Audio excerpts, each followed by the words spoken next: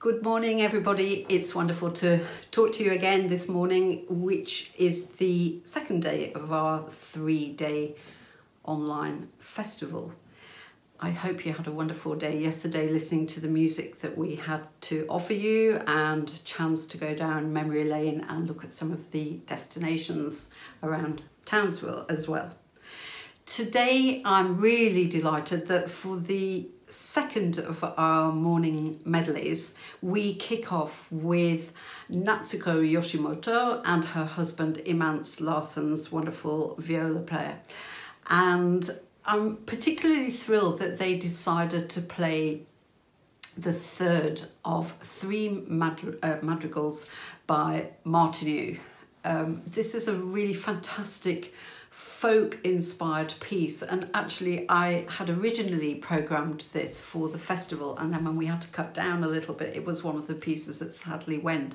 So I'm really delighted that you get the opportunity now to hear something of that piece and their wonderful inspiring playing together.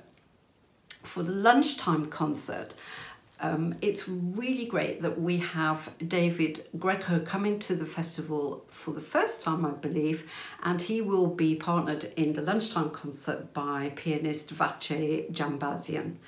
And this is a really wonderful duo. They perform together very, very often, and their program for us is going to feature um, some of the wonderful Britten folk arrangements. These are really incredible pieces, so well crafted on many, many traditional folk tunes that we know so well.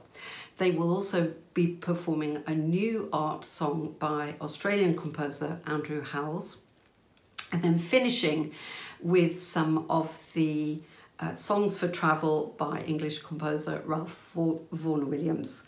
Um, and if only we could travel as much as we're going to feel in these songs, um, life would be very, very sweet indeed.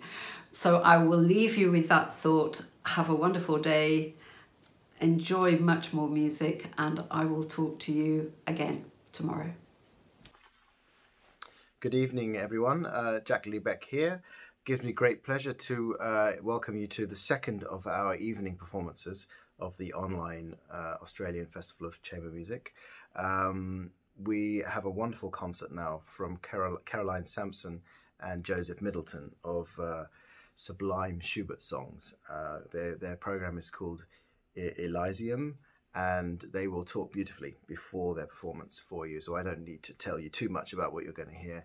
They will talk about it. But uh, I promise it's an absolutely gorgeous performance and uh, I wish that you enjoy it very much.